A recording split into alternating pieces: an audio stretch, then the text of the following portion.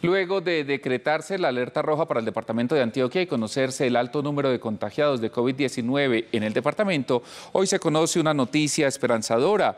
El gobernador encargado de Antioquia, Luis Fernando Suárez, señaló en su cuenta de Twitter, no puedo dejar de dar esta buena noticia. Desde hoy tenemos habilitadas 30 nuevas UCI con recursos del Ministerio de Salud y de la Gobernación de Antioquia.